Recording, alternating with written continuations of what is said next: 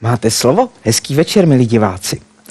V rámci projednávání novely zákona o matrikách budou poslanci rozhodovat, zda zrušit povinnost eh, zapisovat i nadále přechylované ženské příjmení do úředních dokumentů.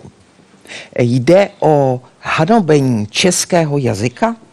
Je koncovka ová v ženském příjmení eh, v češtině gramatická nutnost, anebo v globálním světě už přežitek?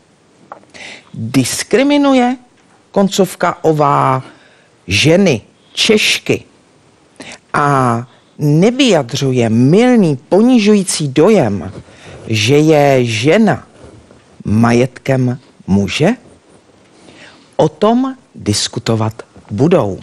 Paní doktorko, když tedy kladete tu řečnickou otázku, nebo nevím, jestli jste tím znepokojena, proč e, vlastně, nebo jakým právem má ženské příjmení povinně vyjadřovat e, pohlaví?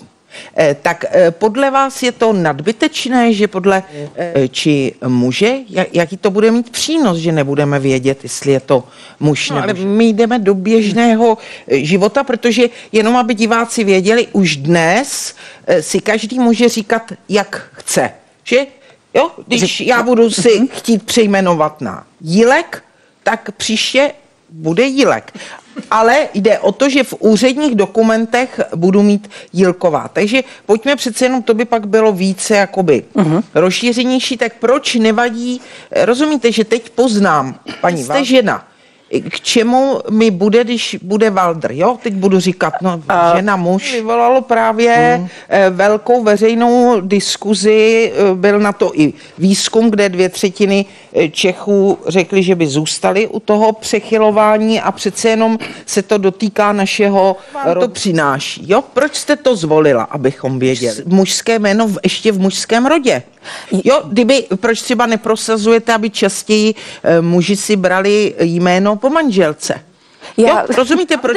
Správně, když, to, to když žena chce být to... jako mužské, uh, nechápete to má logiku, tak Já vám proč to teda, ne paní Profantová nebo paní pan je, právnost, souhlasíte se mnou? Já s tím souhlasím, Já chci více mužů s koncovkou ová. Ano. Ano. A necháme to na nich, jestli to chtějí. No. Ještě, aby jsme se k tomu vidíte, že panu Pokornému vadí třeba, že když se řekne Alex, No.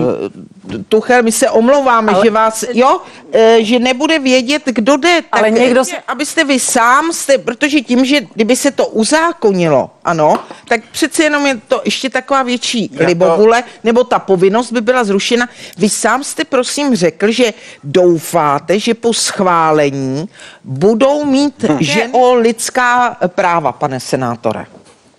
Jo, vidíte, stát nabádá lhát. Eh, pardon. Ani eh, paní Tuchel, ani eh, paní El Amin, vy byste, kdybyste měli české příjmení, jo, bych já nevím, nechala, Nováková, tak, tak doktorko nebo pane poslanči ještě k lidským právům, jo, protože vy také jste, nebo vy paní doktorko, že vlastně eh, by se měla napravit přednost mluvnice před lidskými právy. Takže podle vás je víc, e, jsou víc lidská práva než ta mluvnice, ta gramatika?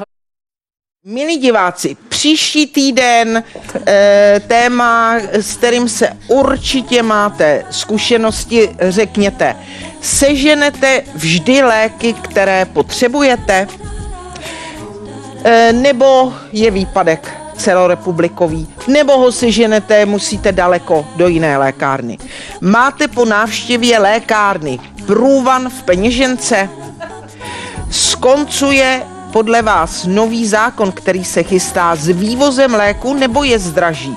Prostě, co se vám na lékové politice nelíbí, přijďte říct přímo ministrovi zdravotnictví přímo jemu, panu ministrovi, takže přihlaste se na telefonu 261 13 7766 nebo na e-mailu máte slovo zavináč ceskatelevize.cz Milí diváci, já vám děkuji, těším se na vás, myslím na vás a vy už víte, že ve čtvrtek máte slovo. Naschledanou.